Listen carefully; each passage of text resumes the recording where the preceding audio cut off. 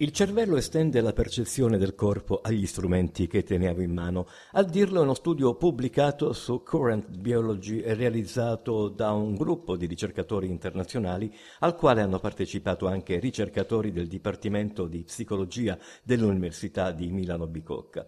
Sensazioni tattili come se fosse una parte del corpo è quello che percepisce il cervello quando ha in mano uno strumento che viene sollecitato esternamente. A dirlo è uno studio appena pubblicato pubblicato su Current Biology e realizzato da un gruppo di ricercatori internazionali al quale hanno partecipato anche ricercatori del Dipartimento di Psicologia dell'Università Bicocca di Milano.